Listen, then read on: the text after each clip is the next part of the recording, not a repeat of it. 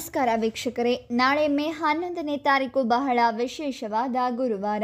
ನಾಳೆಯ ಗುರುವಾರದಿಂದ ಸಾಯಿಬಾಬಾ ದೇವರ ಸಂಪೂರ್ಣ ಕೃಪಾ ಕಟಾಕ್ಷ ಈ ಆರು ರಾಶಿಯವರ ಮೇಲೆ ಬೀಳಲಿದೆ. ಹಾಗಾಗಿ ಇವರು ತುಂಬಾನೇ ಲಾಭದಾಯಕವಾದ ದಿನವನ್ನ ಕಾಣಲಿದ್ದಾರೆ. ಹಾಗಾದರೆ ಅಂತಹ ಅದೃಷ್ಟವಂತ ರಾಶಿಗಳು ಯಾವುದು? ಹಾಗೆ ಅವುಗಳಿಗೆ ಯಾವೆಲ್ಲ ಲಾಭ ಸಿಗಲಿದೆ ಅಂತ ಈ ವಿಡಿಯೋದಲ್ಲಿ ನೋಡೋಣ ಬನ್ನಿ. ಅದಕ್ಕೂ ಮೊದಲು ನೀವೇನಾದರೂ ಸಾಯಿಬಾಬಾ ದೇವರ ಭಕ್ತರಾಗಿದ್ದರೆ ಈಗಲೇ ವಿಡಿಯೋಗೆ ಒಂದು ಲೈಕ್ ಮಾಡಿ ಹಾಗೆ ನಮ್ಮ ಚಾನಲನ್ನು ಸಬ್ಸ್ಕ್ರೈಬ್ ಮಾಡಿ ಪಕ್ಕದಲ್ಲಿ ಬರೋ ಬೆಲ್ಲೈಕಾನ್ ಕ್ಲಿಕ್ ಮಾಡಿ ಆಲ್ ಅಂತ ಸೆಲೆಕ್ಟ್ ಮಾಡ್ಕೊಳ್ಳಿ.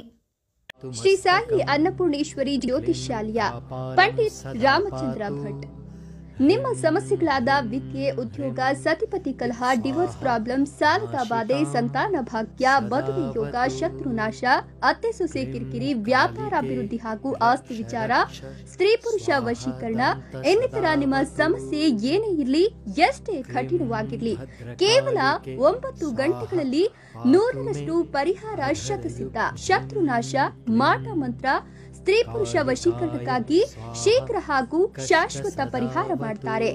ರಾಶಿ ಮಂಡಲದಲ್ಲಿ ಆಗುವಂತಹ ಬದಲಾವಣೆಗಳಿಂದ ಆರು ರಾಶಿಯವರ ಜೀವನದಲ್ಲಿ ತುಂಬಾ ವಿಭಿನ್ನವಾದ ಬದಲಾವಣೆಗಳಾಗತ್ತೆ. ಈ ಬದಲಾವಣೆಗಳು ಈ ರಾಶಿಯವರ ಜೀವನವನ್ನ ಸಂತೋಷದ ಕಡೆಗೆ ಕರೆದುಕೊಂಡೋಗತ್ತೆ. ಬಹಳ ದಿನದಿಂದ ಉದ್ಯೋಗಕ್ಕಾಗಿ ಪರದಾಡ್ತಾ ಇದ್ದವರಿಗೆ ಈ ಸಮಯದಲ್ಲಿ ಉತ್ತಮ ನೌಕರಿ ದೊರೆಯುತ್ತೆ. ಪ್ರಾರಂಭದಲ್ಲಿ ಕೆಲವು ಕೆಲಸಗಳಿಗೆ ಅಡಚಣೆಗಳು ಬರಬಹುದು. ಕ್ರಮೇಣವಾಗಿ ಉತ್ತಮ ರೀತಿಯಲ್ಲಿ ಕೆಲಸವನ್ನ ಕಲಿತು ಉತ್ತಮ ಕೆಲಸಗಾರರು ಅಂತ ನೀವು ಪ್ರಶಂಸೆಯನ್ನ ಪಡೆಯುತ್ತೀರಾ? ನೀವು ಮಾಡುವ ಕೆಲಸದ ಮೇಲೆ ನಿಮಗೆ ನಂಬಿಕೆ ಇರಬೇಕು, ಗೌರವ ಇರಬೇಕು. ಆಗ ನಿಮಗೆ ಎಲ್ಲ ಕೆಲಸಗಳು ಯಶಸ್ವಿಯಾಗತ್ತೆ.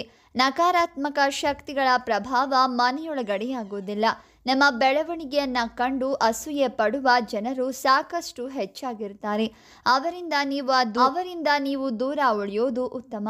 ಯಾವುದೇ ಕೆಲಸವನ್ನ ಮಾಡಬೇಕಾದ್ರೆ ತುಂಬ ತಾಳ್ಮೆಯಿಂದ ಯೋಚನೆ ಮಾಡಿ, ನಂತರ ಕೆಲಸ ಮಾಡೋದ್ರಿಂದ ನಿಮಗೆ ಒಳ್ಳೆಯದೇ ಆಗತ್ತೆ.